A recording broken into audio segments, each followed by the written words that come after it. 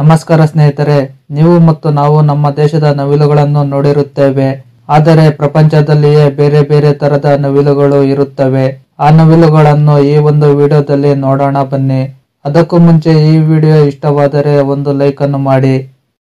Great argus. ಇದು ವಿಚಿತ್ರವಾಗಿರುವ ನವಿಲು ಆಗಿದೆ. ಈ ನವಿಲುಗಳು ಮಲೈ ಪೆನಿಸ್ಸಾ ಬೋರ್ನಿಯಾ ಮತ್ತು ಸುಮತ್ರಾ ಐಲ್ಯಾಂಡ್ನಲ್ಲಿ ಕಾಣಿಸುತ್ತವೆ. ಈ ನವಿಲುಗಳಲ್ಲಿ ಹೆಣ್ಣು ಮತ್ತು ಗಂಡು ನವಿಲುಗಳನ್ನು ತುಂಬಾ ಸುಲಭವಾಗಿ ಕಂಡುಹಿಡಿಯಬಹುದು. ಗಂಡು ನವಿಲು ಹೆಣ್ಣು ನವಿಲನ್ನು ಆಕರ್ಷಣೆ ಮಾಡಲು ರೆಕ್ಕೆಗಳನ್ನು ಹೊರತೆಗೆದು ನಾಟ್ಯವನ್ನು ಮಾಡುತ್ತದೆ. ಗಂಡು ನವಿಲು ಹೆಣ್ಣು ನವಿಲುಗಿಂತ ಹೆಚ್ಚು ತೂಕ ಇರುತ್ತದೆ. ಈ ನವಿಲುಗಳನ್ನು ನ್ಯಾಷನಲ್ ಪಾರ್ಕ್ನಲ್ಲಿ ಕಾಣಬಹುದು. ಕಾಂಗೋ ಪೀಪೌಲ್ ಇವುಗಳನ್ನು ಆಫ್ರಿಕನ್ ಪೀಪಲ್ ಎಂದು ಸಹ ಕರೆಯುತ್ತಾರೆ. ನಾವು ನೋಡುತ್ತಿರುವ ನವಿಲುಗಳು ತುಂಬಾ ಡಿಫರೆಂಟ್ ಆಗಿ ಇರುತ್ತವೆ. ಇವು ಹೆಚ್ಚಾಗಿ ಆಫ್ರಿಕಾದ ಕಾಂಗೋದಲ್ಲಿ ಕಾಣಿಸುತ್ತವೆ. ಈ ಕಾಂಗೋ ನವಿಲೆ ದೇಶದ ಪಕ್ಷಿಯಾಗಿದೆ. ಇವುಗಳಲ್ಲಿ ಗಂಡು ನವಿಲು ಮತ್ತು ಹೆಣ್ಣು ನವಿಲುಗಳನ್ನು ಸುಲಭವಾಗಿ ಕಂಡುಹಿಡಿಯಬಹುದು. ಗಂಡು ನವಿಲು ಗ್ರೀನ್ ಮತ್ತು ಬ್ಲೂ ಕಲರ್ ನಲ್ಲಿದ್ದು ತಲೆ ಮೇಲೆ ಬಿಳಿ ಬಣ್ಣದಲ್ಲಿರುವ ಜುಟ್ಟು ಇರುತ್ತದೆ. ಆದರೆ ಹೆಣ್ಣು ನವಿಲುಗಳು ಗ್ರೀನ್ ಮತ್ತು ಬ್ರೌನ್ ಬಣ್ಣದಲ್ಲಿರುತ್ತವೆ. ಆದರೆ ಇವುಗಳಿಗೆ ತಲೆ ಮೇಲೆ ಜುಟ್ಟು ಇರುವುದಿಲ್ಲ. Grey peacock. ಇದರ ಬಣ್ಣವು ಬೂದಿ ಬಣ್ಣದಲ್ಲಿದ್ದು ಮೈಮೇಲೆ ಕಣ್ಣುಗಳು ಇರುತ್ತವೆ.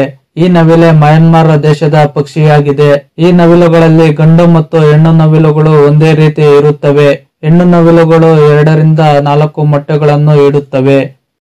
Malayan peacock. Malayan peacock Malaysia ದೇಶದಲ್ಲಿ ಇರುತ್ತವೆ ಮಲಯಾನ್ ಪಿಕಾಕ್ ಮತ್ತು ಗ್ರೇ ಪಿಕಾಕ್ ಒಂದೇ ರೀತಿಯಲ್ಲಿ ಇರುತ್ತವೆ ಎಂದುಕೊಂಡಿದ್ದೀರಾ ಆದರೆ ಇವು ಬೇರೆ ಬೇರೆ ನವಿಲುಗಳಾಗಿರುತ್ತವೆ. ಇವುಗಳಿಗೆ ಕ್ರಸ್ಟೆಡ್ ಪಿಕಾಕ್ ಎಂದು ಸಹ ಇನ್ನೊಂದು ಹೆಸರಿನಿಂದಲೂ ಕರೆಯುತ್ತಾರೆ.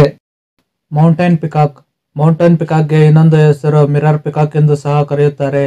ಇವು ಥೈಲ್ಯಾಂಡ್ ದೇಶದ ಮಲೈ ಪೆನಿಸ್ಸಾ ಕಾಡಿನಲ್ಲಿ ಹೆಚ್ಚಾಗಿ ಕಾಣಿಸುತ್ತವೆ. ಇವು ಬ್ರೌನ್ ಬಣ್ಣದಿಂದ ಮತ್ತು ಹಿಂಭಾಗದಲ್ಲಿ ಬಣ್ಣ ಬಣ್ಣದಿಂದ ಕೂಡಿರುತ್ತದೆ. ಇವುಗಳ ಶಬ್ದವು ವಿಚಿತ್ರವಾಗಿರುತ್ತದೆ. ಬೇಟೆಗಾರರಿಂದ ತುಂಬಾ ಜಾಗೃತಕರವಾಗಿರುತ್ತದೆ ಹೆಣ್ಣು ನವಿಲುಗಳು ಎರಡು ಮೊಟ್ಟೆಗಳನ್ನು ಇಡುತ್ತದೆ. Ocellated turkey. ಈ ತರ ನವಿಲುಗಳು ಟರ್ಕಿ ಮತ್ತು ಮೆಕ್ಸಿಕೋ ದೇಶದಲ್ಲಿ ಹೆಚ್ಚಾಗಿ ಕಂಡುಬರುತ್ತವೆ. ನೀವು ಇದುವರೆಗೂ ಟರ್ಕಿ ಪಕ್ಷಿಗಳನ್ನು ನೋಡಿರುತ್ತೀರಾ? ಹಾಗೆಯೇ ಈ ನವಿಲನ್ನು ಹೋಲಿಸಿದರೆ ತುಂಬಾ ಬಣ್ಣ ಬಣ್ಣಗಳಿಂದ ಕೂಡಿರುತ್ತದೆ. ಇದು ಬಣ್ಣ ಬಣ್ಣಗಳಿಂದ ಕೂಡಿರುವುದರಿಂದ ಇದನ್ನು ನವಿಲು ಜಾತಿಗೆ ಸೇರಿರುತ್ತದೆ ಎಂದುಕೊಂಡಿದ್ದಾರೆ ಆದರೆ ಇವನ್ನು ಸೈಂಟಿಸ್ಟ್ಗಳು ಪರೀಕ್ಷೆ ಮಾಡಿದ ನಂತರ ಇದು ಟರ್ಕಿಯ ಕೋಳಿಯ ಪ್ರಭೇದಕ್ಕೆ ಸೇರಿರುತ್ತದೆ ಎಂದು ಹೇಳಿದರು. ಇವು ಹೆಚ್ಚಾಗಿ ಕಾಡಿನಲ್ಲಿಯೇ ಬದುಕುತ್ತವೆ. ಇವು ಅಂದವಾಗಿ ಕಾಣಿಸುವುದರಿಂದ ಬೇಟೆಗಾರರಿಗೆ ಬಲಿಯಾಗುತ್ತಿವೆ. ಈ ಪಕ್ಷಿಗಳು ಸಹ ಗಾಳಿಯಲ್ಲಿ ಹಾರುವುದಕ್ಕೆ ಸಾಧ್ಯವಾಗುವುದಿಲ್ಲ. ವೈಲ್ಡ್ ಪಾಲ್ವನ್ ಪಿಕಾಕ್ ಈ ನವಿಲುಗಳು ಫಿಲಿಪೀನ್ಸ್ ನಲ್ಲಿರುವ ಕಾಡಿನಲ್ಲಿ ಹೆಚ್ಚಾಗಿ ಕಾಣಿಸುತ್ತವೆ.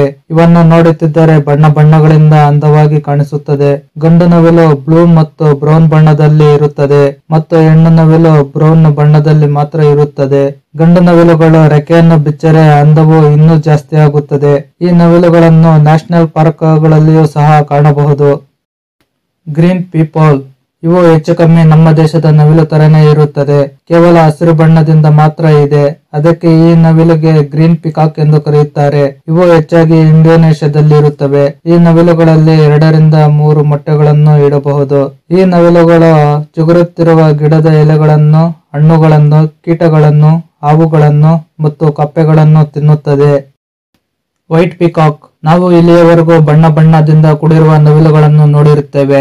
ಆದರೆ ಈ ರೀತಿ ಬಿಳಿ ಬಣ್ಣದಿಂದ ಮಾತ್ರ ಕೂಡಿರುವ ನವಿಲುಗಳನ್ನು ನೋಡುವುದಕ್ಕೆ ಇನ್ನೂ ಅಂದವಾಗಿ ಕಾಣಿಸುತ್ತವೆ. ಇವು ಯಾಕೆ ಬಿಳಿ ಬಣ್ಣದಲ್ಲಿರುತ್ತವೆ ಅಂದರೆ, ಬಿಳಿ ಬಣ್ಣದಲ್ಲಿರುವ ನವಿಲುಗಳು ರೇರ್ ಜೆನೆಟಿಕ್ ಮ್ಯೂಟೇಷನ್ ಪ್ರಾಬ್ಲಮ್ ಇಂದ ಇವು ಬಿಳಿ ಬಣ್ಣದಲ್ಲಿ ಮಾತ್ರ ಇರುತ್ತವೆ. ಏಷ್ಯನ್ ಪಿಕಾಕ್ ಈ ರೀತಿ ಬಣ್ಣ ಬಣ್ಣದಿಂದ ಕೂಡಿರುವ ನವಿಲುಗಳು ನಮ್ಮ ದೇಶದಲ್ಲಿ ಹೆಚ್ಚಾಗಿ ಕಾಣಬಹುದು. ನೀವು ಇಲ್ಲಿಯವರೆಗೂ ನೋಡಿರುವ ನವಿಲುಗಳಲ್ಲಿ ನಮ್ಮ ನವಿಲುಗಳು ನೋಡುವುದಕ್ಕೆ ಅಂದವಾಗಿ ಕಾಣಿಸುತ್ತವೆ.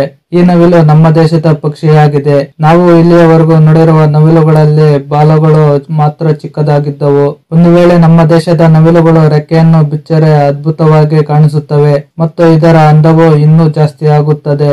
ನಮ್ಮ ಹಳ್ಳಿಗಳ ಕಡೆ ಮೂವತ್ತರಿಂದ ಐವತ್ತು ಅಡಿ ಇರುವ ತೆಂಗಿನ ಮರಗಳ ಮೇಲೆ ಹಾರುತ್ತದೆ ಹೆಣ್ಣು ನವಿಲುಗಳು ಮೂರರಿಂದ ಹನ್ನೆರಡು ಮೊಟ್ಟೆಗಳನ್ನು ಇಡುತ್ತದೆ. ಇವುಗಳ ಮರಿಗಳು ಬ್ರೌನ್ ಬಣ್ಣದಲ್ಲಿರುತ್ತವೆ. ಕ್ರಮೇಣವಾಗಿ ಬೆಳೆಯುತ್ತಾ ಇದರ ಅಂದವು ಸಹ ಬೆಳೆಯುತ್ತದೆ. ಈ ನವಿಲುಗಳು ಸಸ್ಯಾಹಾರಿ ಮತ್ತು ಮಾಂಸಾಹಾರಿ ಪಕ್ಷಿಗಳಾಗಿವೆ. ಈ ಮಾಹಿತಿ ಇಷ್ಟವಾದಲ್ಲಿ ಲೈಕ್ ಮಾಡಿ.